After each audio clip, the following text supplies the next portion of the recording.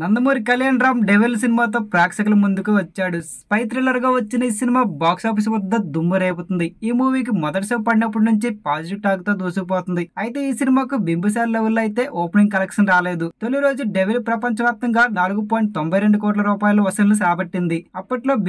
కు తొమ్మిది కోట్ల రూపాయల వరకు కలెక్షన్ వచ్చాయి డెవిల్ సినిమా బాగున్నప్పటికీ థియేటర్ లో మరోపక్క ప్రభాస్ మేనియా కొనసాగడంతో అందరూ స్థలాలకే వెళ్తున్నారు అయితే వీకెండ్ లో ఈ మూవీ కలెక్షన్ పెరిగే అవకాశం ఉంది ఇప్పటికీ రిలీజ్ అయిన టెవిల్ టీజర్ ట్రైలర్ పోస్టర్ పాటలు ఇలా అన్ని కూడా ఆడియన్స్ లో విపరీతమైన హైప్ క్రియేట్ చేసి మూవీ మొత్తం పంతొమ్మిది నలభై ఐదు బ్రిటిష్ కాలం నాటి బ్యాక్ డ్రాప్ లో సాగుతుంది British secret agent devil Kalyan Ram one man show గా అదరగొట్టాడు మరిన్ని లేటెస్ట్ అప్డేట్స్ కోసం మన ఛానల్ కు సబ్స్క్రైబ్ చేసుకోండి థ్యాంక్స్ ఫర్ వాచింగ్